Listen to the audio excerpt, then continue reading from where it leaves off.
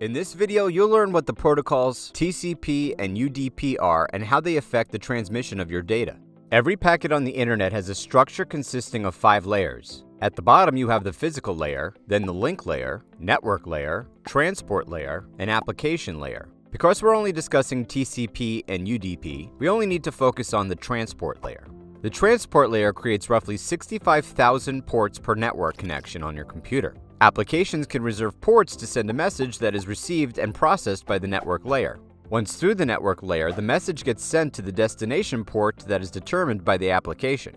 However, there's more to it than that. TCP and UDP are the most common transport protocols, and they both have their own characteristics and uses. To start off, we'll look at the UDP and its advantages. Nearly the biggest advantage of UDP is its small packet sizes. UDP's packet sizes are up to 60% smaller than TCP's. Additionally, UDP is completely connectionless, meaning no connection has to be made to be able to send data, unlike TCP.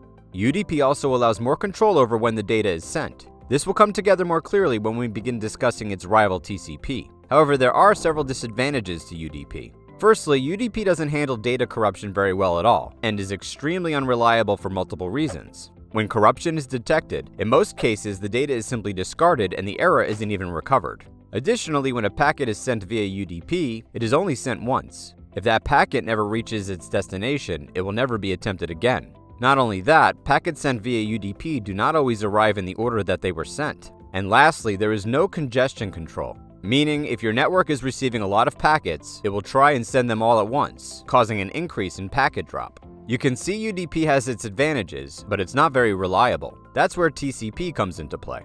TCP consists of a few features that make it much more reliable than UDP. Unlike UDP, TCP requires a connection. This is called a three-way handshake. First, the initiator will ask the acceptor if a connection can be made. The acceptor will reply to this request and send it back to the initiator. When the initiator receives the response, it will send a packet back to the acceptor stating that the connection has been established. This allows the use of delivery acknowledgements. When data is sent from one host to another, the receiver will recognize that it got that data.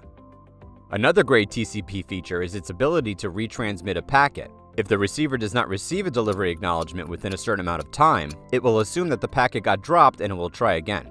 Because data sent via TCP is numbered, it can be sent in order. The packets may not arrive at the receiver in order, however, TCP rearranges the packets before sending them to their destinations. Additionally, unlike UDP, TCP offers a better solution for congestion control. TCP delays transmission of packets when a network is congested. However, TCP has a few disadvantages. For one, TCP has a larger header. UDP headers are about 60% smaller than TCP headers. Additionally, a side effect of TCP's data congestion feature, not all the data gets sent out immediately and may take some time. However, in some cases, that's not what you want. Discord, for example, is something that requires data to be delivered seamlessly to make the experience feel as real-time as possible. That real-time experience is sometimes not provided by TCP.